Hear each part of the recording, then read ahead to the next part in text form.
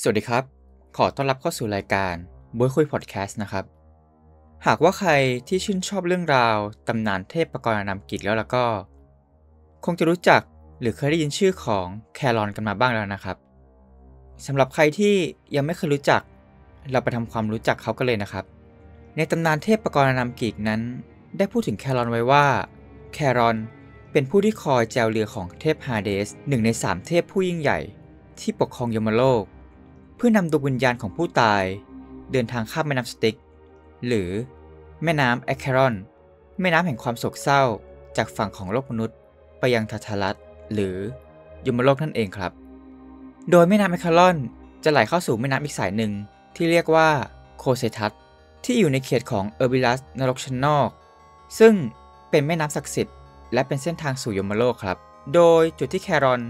จะรอรับดวงวิญญาณของผู้ตาย ก็จะอยู่ตรงบริเวณที่แม่น้ำแอคเครอนกับแม่น้ำโคเซทัสมาบรรจบกัน ซึ่งเทพเจ้าเฮอร์มีสจะเป็นผู้ที่นำดวงวิญญาณของผู้ตาย มาส่งให้กับแครอนอีกทีหนึ่งครับ เทพเจ้าเฮอร์มิสนั้น เป็นเทพเจ้าที่มีความรวดเร็ว และเจ้าเล่ห์เป็นอย่างมาก โดยเทพเจ้าเฮอร์มิสนั้น สามารถที่จะเดินทางไปมาระหว่างโลกมนุษย์ และสวรรค์ได้อย่างอิสระ ในฐานะที่เป็นทูตที่คอยแจ้งข่าวสารแห่งเทพเจ้า เป็นผู้ที่คอยเจรจาระหว่างมนุษย์กับเทพเจ้า และเป็นผู้ที่นำดวงวิญญาณไปยังยมโลกอย่างที่บอกไปข้างต้นครับ โดยดวงวิญญาณที่เทพเจ้าเฮอร์มิสได้พามาส่ง จะต้องทำการจ่ายค่าจ้างให้กับฝีพายแครอน ซึ่งเราเรียกเงินเหล่านั้นว่า เหรียญแครอน หรือแครอนโอโบซึ่งถ้าหากว่าดวงวิญญาณไม่มีเหรียญแครอนติดตัวมา ก็จะต้องเดินทางเล่ร่อนอยู่ริมฝั่งของแม่น้ำ เป็นเวลาร่วมกว่าร้อยปี ถึงจะสามารถข้ามฝั่งไปได้ครับ ซึ่งมีวีรบุรุษที่มีชื่อเสียงโด่งดัง ที่ได้เดินทางข้ามไปยังฝั่งยมโลก และเดินทางกลับมายังโลกมนุษย์ ก็จะมีเฮอร์คิวลิสอินเนียสไดโอนิซุสและไซคีครับ แล้วไอไอเทมเหรียญแครอนนั้นนะครับ เราจะสามารถหาได้จากที่ไหน ตรงส่วนนี้ก็ต้องเท้าความก่อนครับว่า เหรียญแครอนนั้นมาจากความเชื่อ หรือประเพณีเก่าแก่ ที่มีมาอย่างยาวนานนับพันปีของชาวกรีกโรมันโบราณ โดยพวกเขาเชื่อว่า คนตายจะต้องนำเงินหรือเหรียญทองมอบให้กับแครอน เพื่อเป็นค่าโดยสาร โดยดวงวิญญาณจะต้องทำการจ่ายเหรียญจำนวนหนึ่งเหรียญเพื่อเป็นค่าจ้างพายเรือ จึงเป็นต้นกำเนิดของความเชื่อที่ว่า ต้องวางเหรียญไว้ในปากของคนตาย เพื่อใช้เป็นค่าผ่านทางครับ ซึ่งความเชื่อดังกล่าวนี้ ก็ได้แผ่ขยายไปทั่วยุโรปและตะวันตกมาหลายพันปี โดยปัจจุบัน ชาวยุโรปจะใช้เหรียญทองแดงหนึ่งเพนนี วางไว้ที่ตาของคนตาย เพื่อใช้เป็นค่าจ้างให้กับแครอน ให้แจวเรือเพื่อพายพาดวงวิญญาณของผู้ตายข้ามแม่น้ำไปยังยมโลกครับ ซึ่งในประเทศไทยของเราก็อาจจะได้รับอิทธิพลของความเชื่อนี้มาในรูปแบบของเงินปากผีครับ เงินปากผีนั้นก็คือเงินที่ครอบครัวหรือญาติพี่น้องของผู้ตาย ใส่ลงไปในปากของศพ ก่อนที่จะบรรจุร่างลงโลง เพื่อให้ผู้ตายนั้นได้นำเงินติดตัวไปใช้ในโลกหลังความตาย ซึ่งการนำเงินใส่ไปในปากของศพนั้น ก็จะมีขั้นตอนอยู่ว่า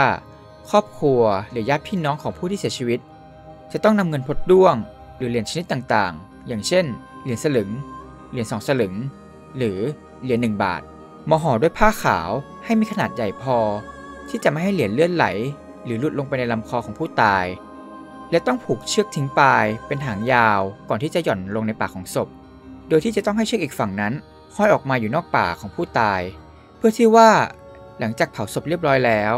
ครอบครัวหรือญาติพี่น้องของผู้ที่ตาย จะได้นำเงินเหล่านั้นมาเก็บไว้เป็นที่ระลึก หรือนำไปทำเป็นเครื่องรางของขลัง ที่สามารถช่วยปกป้องคุ้มครองได้ครับ แต่ว่า ผู้ที่จะเป็นเจ้าของเงินปากผีนั้นจำเป็นต้องมีวิชาอาคมทางไสยศาสตร์ที่แก่งกล้า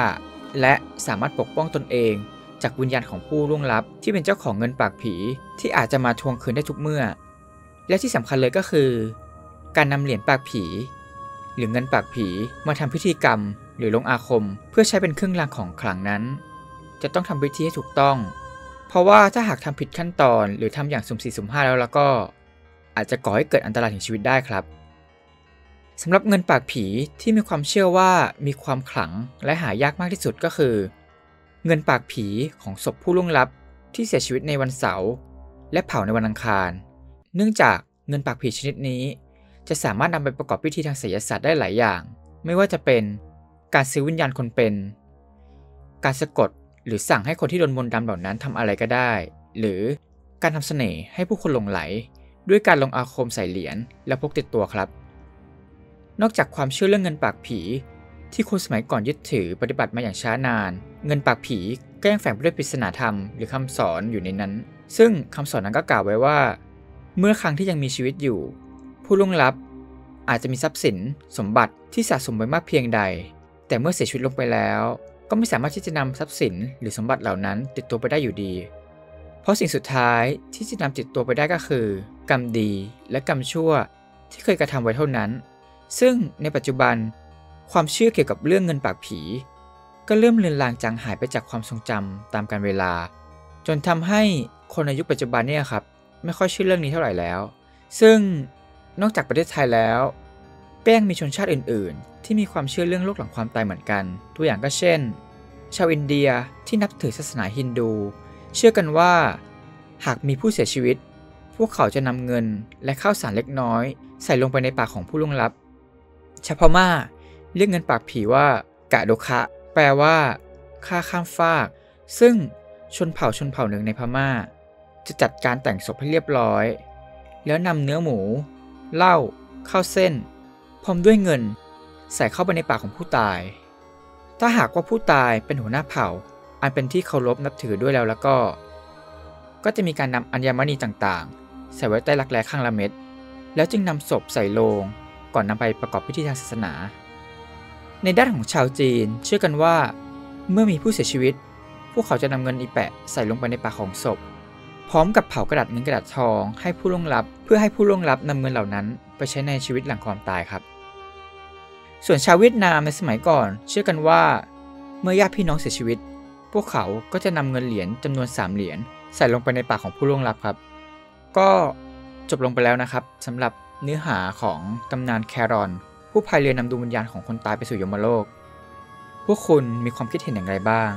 เชื่อเรื่องโลกหลังความตายหรือไม่ สามารถคอมเมนต์แลกเปลี่ยนความคิดเห็นกันได้นะครับสำหรับวันนี้รายการบุ้ยคุยพอดแคสต์ต้องขอลาไปก่อน สวัสดีครับ